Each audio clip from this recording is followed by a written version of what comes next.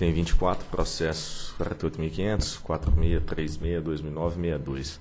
Proposta de abertura de audiência pública com vistas a acolher subsídios e informações adicionais para aperfeiçoar a Resolução Normativa 398 de 2010, que regulamenta a Lei 11.934 de 2009, no que se refere aos limites à exposição humana a campos elétricos e magnéticos originários de instalações de geração, transmissão e distribuição de energia, na frequência de 60 Hz.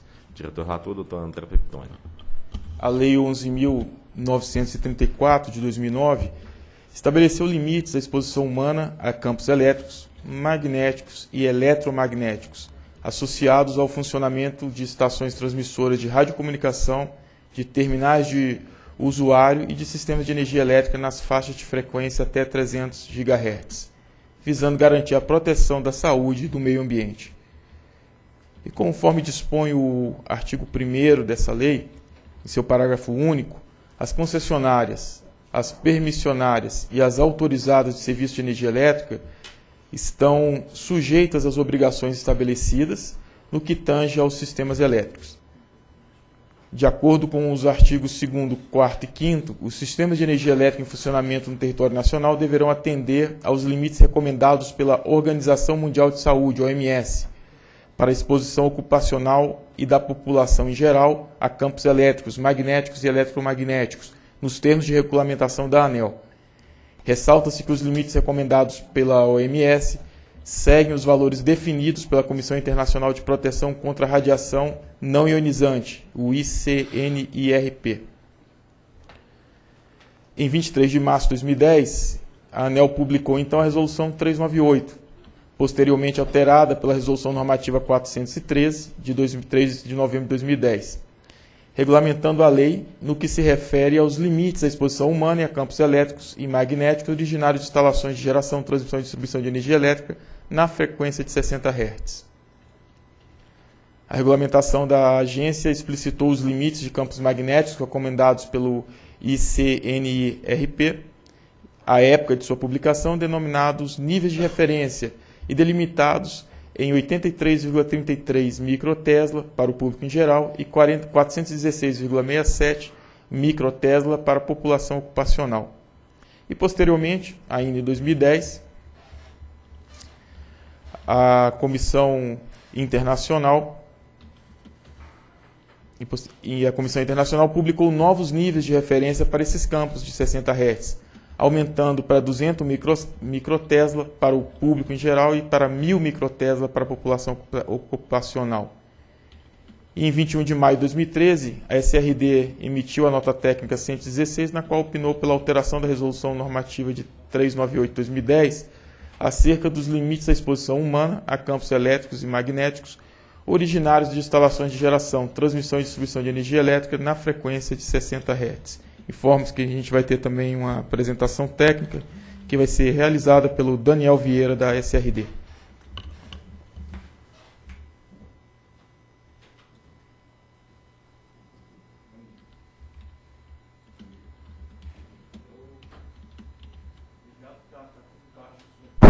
Agora sim. É... Estava só. Estava faltando. É, aqui a gente vai falar rapidinho sobre é, essas modificações que estão sendo propostas na, na, na, resolução. São, são poucos pontos, aqui a gente vai apresentar só três e depois no final tem um quarto só para complementar algo que ficou de fora da resolução que a gente precisa dar uma explicadinha. O primeiro ponto é esse, de atualizar os limites de campo magnético, que é aquela organização, é, aquela comissão que a, que a Organização Mundial de Saúde referenda, é, ela essa, essa organização, essa comissão chama ICNIRP, e ela mudou os limites de campo magnético e daí a, é, é, a gente precisa atualizar esses limites, porque a lei diz que a gente tem que seguir esses limites, que são os, os que a Organização Mundial de Saúde recomenda. Aí a gente está aproveitando para dar uma aprimorada nos procedimentos para novas instalações, que não estavam muito claros na, na versão que estava lá, e também uma, um tratamento um pouco mais moderno para medição e para o cálculo de campos elétricos e magnéticos. Então vamos lá para o primeiro ponto. Esse daí de atualizar os limites de campo elétrico e magnético. Na, na realidade, só de campo magnético. O limite de campo elétrico, vocês podem ver ali, para a população em geral e para a população ocupacional, em 98, nas regras do ICNIP eram aqueles limites lá, 4 e 8, e continuaram os mesmos em 2010.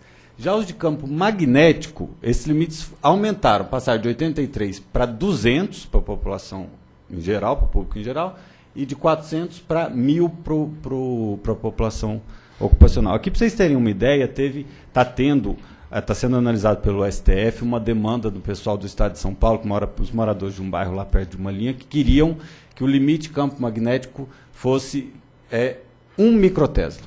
E a Organização Mundial de Saúde aumentou de 83 para 200. Para vocês terem uma ideia, o campo emitido por esses computadores daí, dos quais vocês estão é, é, de frente, deve ser maior que 1 microtesla. Então, é, a gente acha que talvez seja um pouco demais. Mas esse limite de, de 200 está bem tranquilo. Muitas das instalações que estão hoje em dia no nosso banco de dados obedecem esse limite. Já obedeceu de 83 e agora só está ficando um limite um pouco mais, mais é, relaxado.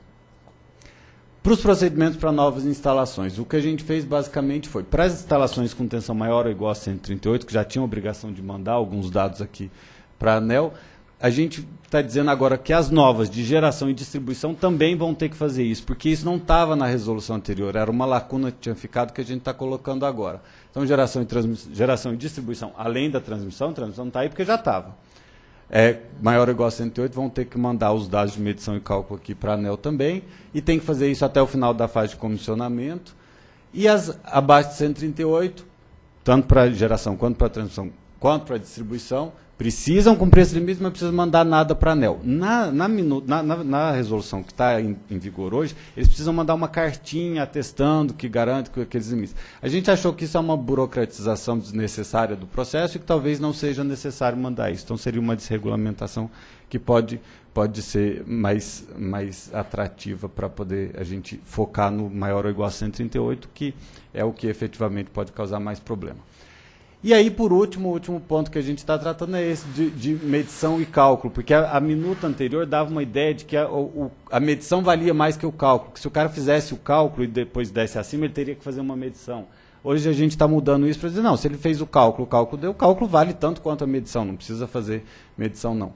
E aí tem uns, uns, uns, outros aspectos. Um desses é esse daqui, o é poder extrapolar por cálculo quando a medição não for em carga pesada. Porque hoje em dia ele tem que fazer essa medição, se ele optar por medição, em carga pesada. Mas muitas vezes é difícil, depende de despacho, depende de uma série de coisas, e daí ele não consegue. Daí a gente está dando a, a opção para ele poder. Ele faz a medição na carga que for possível e depois extrapola por meio de cálculos. Isso é factível, não teria problema nenhum. Tá? E um, isso também ajudaria na parte do, do, do, deles terem que mandar os dados até o final da fase de comissionamento. A gente até pensou em, em propor que essa, esse prazo pudesse ser é, dilatado para ser enviado um pouco depois da fase de comissionamento. Mas não teve jeito porque a, a, a lei meio que amarrava isso. Então a gente deixou na fase de comissionamento, mas em muitos casos o cara não consegue medir em carga pesada até o final da fase de comissionamento. Então ele faz, mede na carga que der e faz a extrapolação por meio de cálculos. Então foi uma simplificação. E aí, só um, um, algo adicional que a gente queria tratar aqui é esse de campo elétrico para subestações e para a população ocupacional. É que tinha um, um dispositivo na norma do ICNIP de 1998 que dizia que, sob determinadas condições, que eram garantidas só para subestações no setor elétrico, que é o cara não ter risco de choque elétrico por contato com algo que não esteja aterrado, os limites de campo magnético podiam ser dobrados. Então, no lugar de ser aquele 8 para a população ocupacional, era 16. E a, a regra de 2010 não tinha isso, do ICNIRP.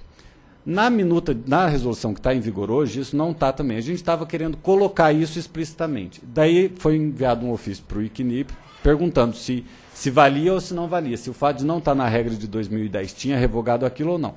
O ICNIP respondeu dizendo que não, não valia. Então, não necessariamente os limites não podem ser, mas um, uma flexibilização geral não é mais válida e por isso a gente tirou isso da minuta de resolução. Então não vai ter mais essa flexibilização geral. Vamos ver o que, que o pessoal contribui com isso. Eram só esses pontos, acho que acabou. Obrigado.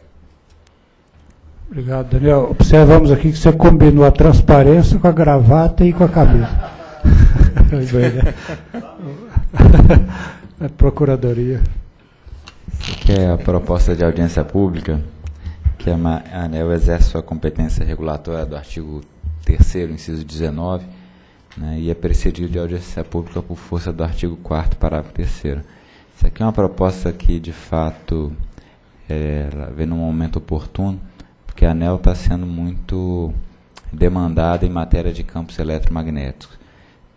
Existe essa ação judicial no STF que busca discutir, na verdade, a própria competência da lei para estabelecer campos é, é, os limites de campos eletromagnéticos e da ANEL para regular esses limites, mas também a ANEL vem sendo muito demandada em, em inquéritos civis promovidos pelo Ministério Público, em uma série de informações também demandadas pelo Ministério Público.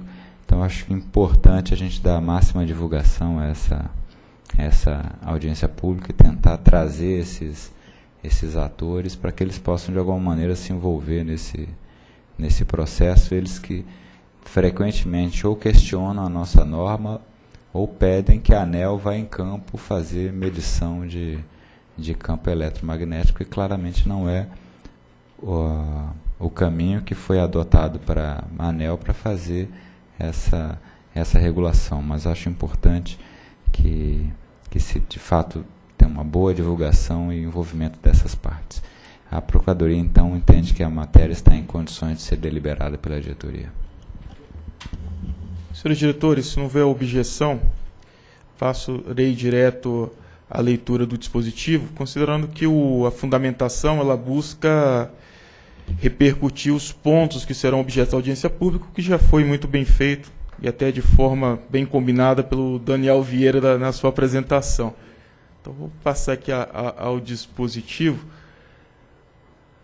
fundado nesse exame nas considerações efetuadas no processo 48.500.00.4636.2009, dígito 62, voto por determinar a instalação de audiência pública no período de 2 de setembro a 1 de novembro de 2013, a fim de obter contribuições à proposta de aperfeiçoamento da regulamentação relativa à exposição humana a campos elétricos e magnéticos originários de instalações de geração, transmissão e distribuição de energia elétrica na frequência de 60 Hz.